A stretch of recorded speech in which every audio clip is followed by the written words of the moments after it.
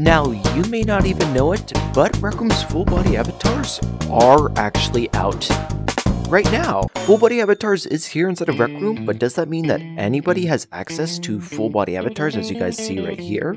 Well, we'll talk about that later. Full body avatars is a new way to play Rec Room inside of Rec Room, and it basically just gives your normal being character limbs. That's pretty much it. Now, other than the additional limbs and additional movement that I have with all my limbs and stuff like that, like my arms and stuff, and my, my legs, as you guys can see, my toesy woesies, Full Body Avatars also brings in a number of new customization menu options, which are actually shown inside your Mirror UI, which is the Customize button. We'll also talk about how we handle our environment differently with full body avatars and like how we grab stuff and all that, but that's for later in today's video. Let's talk about what we can customize real quick.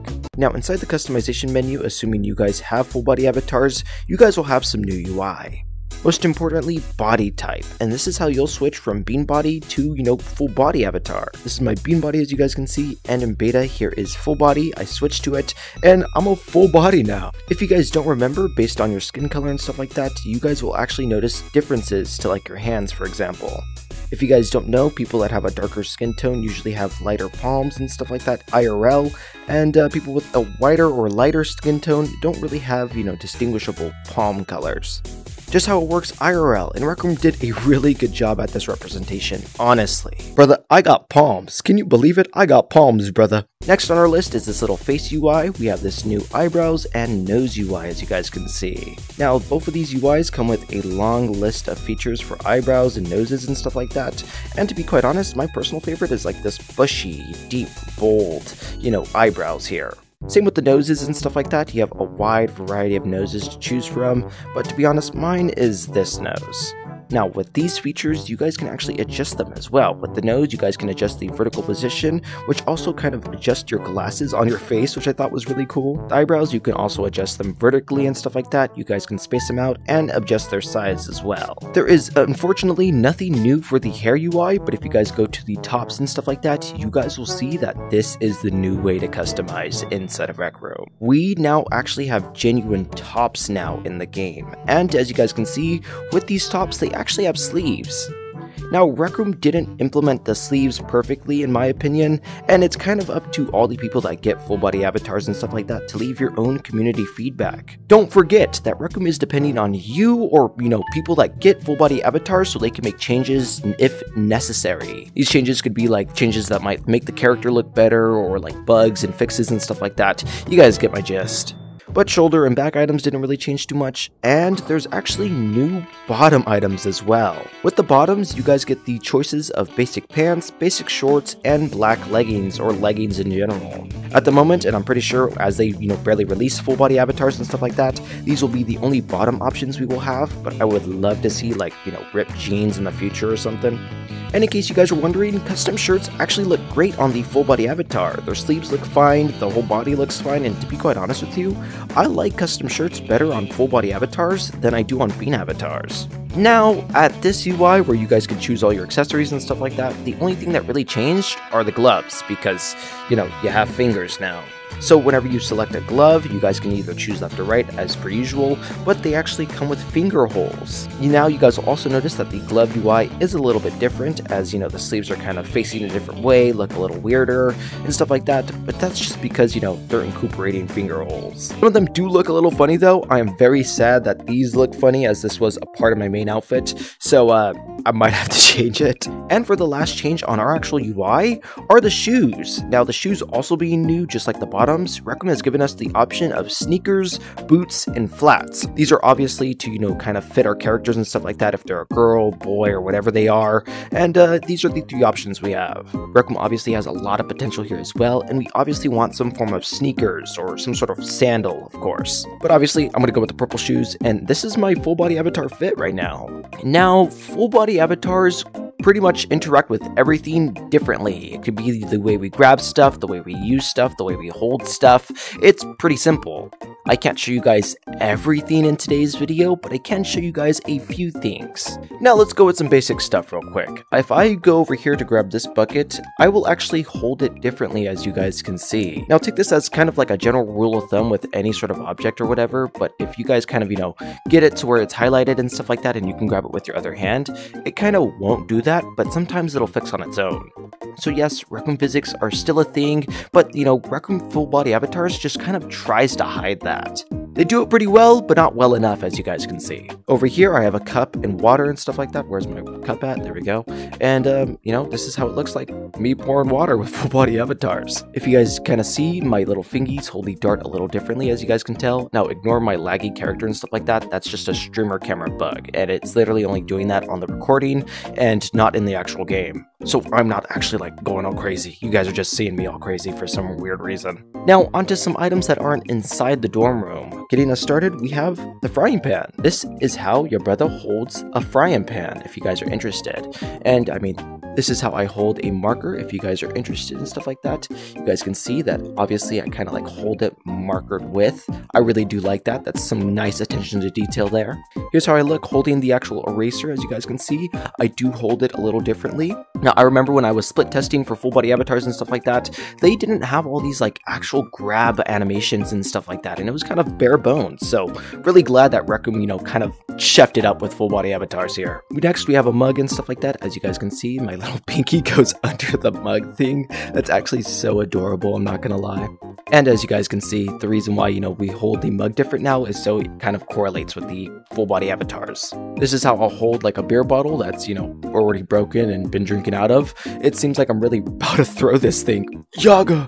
Honestly, I'm kind of mind blown right now. Kind of crazy that I'm genuinely holding the handle inside of Rec Room. Asked me a few years ago if I could ever do that, and I would probably laugh in your face, to be honest. They make it look like this when you guys hold the whip on full body avatars if you guys are interested in stuff like that. Hiya! This is how your boy is holding a flintlock. I'm pretty sure this is how you hold normally any pistol inside the game. Let me see. Here's kind of like the differences of how you guys hold the flintlock pistol and stuff like that. Look kind of similar, to be honest. I do also notice my finger's not all the way on the trigger, too. How does it look if I reload it? Oh, wait! Yo! That's... Y'all seeing this? Tell me I ain't crazy. That's cool. But no, like the way like I I grab it with my fingers like that, that's actually so cool. What the hell? Oh yeah, here's how I also grab the blunderbuss if you guys are interested. I can still shoot it even though my finger's not on the trigger, so that's fun. But this is just super cool. That's so cool. Now, shields, you know, are a little weird. Obviously, you have to hold them like this so you can defend yourselves, but it would be cool if you kind of held it like this, you know what I mean? You hold it like this if you guys are interested. It's it's just your fist in the middle. I'm not gonna lie, I would have rocked with it being right here. I don't mind going like this. That would have been cool. Now, little rule of thumb and stuff like that, if you guys don't already know, you kind of automatically point whenever you're pointing at your UI and stuff like that. You do the same thing with full body avatars and it looks even cooler. Now, if we get a little close up on how I, you know, kind of touch the UI there, I like how it looks and stuff like that. It's pretty cool. And that's like my little showcase showing you guys how you grab things differently inside of Rec Room full body avatars. But we can't talk about all the animations if I'm on VR. Now, Full Body Avatars goes for VR players and Screen Mode players. Full Body Avatars on Screen Mode has its own new walking slash running animations, its crouching animations, its, you know, proning animations. I can go on and on and on and on, but it actually has a bunch of new and different things on how, you know, your full body avatar actually interacts with things on screen mode. And as you guys can see from the video I provided, it is actually different. Now, depending on if you guys find a screen mode full body avatar or a VR full body avatar, you guys will learn different things and stuff like that. But just kind of, you know, check them out, study them if you will.